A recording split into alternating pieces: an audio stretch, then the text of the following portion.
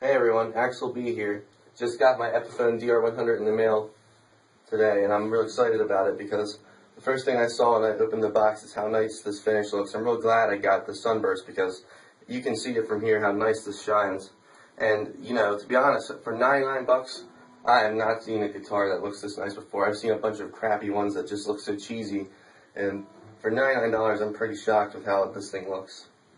And another thing that um, I gotta say is how how low the action is, and that's it's really good compared to a lot of other beginner guitars out there because they have like six inch high actions in the necks, and this one's really close. It's, it's almost like my electric guitar. It's so smooth looking.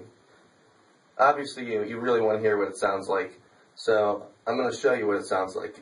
Go to type in your browser right now. Type in guitartopia.net slash epiphone one and I'll give you my full review there. There's a lot more things you've got to know about this, the DR100.